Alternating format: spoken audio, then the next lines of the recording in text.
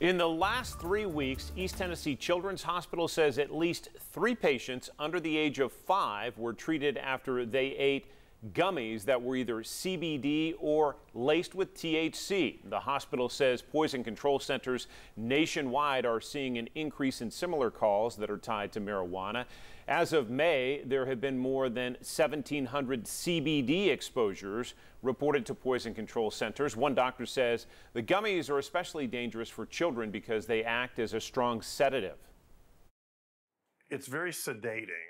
So they are going to be sleepy, moving towards unresponsive, and then sometimes moving towards not really remembering that they need to breathe, where then it can be life threatening to them.